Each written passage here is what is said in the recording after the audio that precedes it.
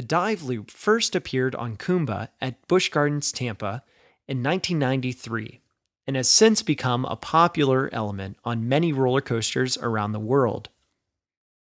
The dive loop is essentially the same track configuration as the Immelman loop, except the train travels in the opposite direction. First, riders climb high into the air, rolling to the left or the right at the top. The train then finishes the inversion like the well known vertical loop, dropping back down to Earth. The dive loop is often found on multi looping roller coasters, as it is a thrilling way to get the coaster to change direction and can help bump up the inversion count.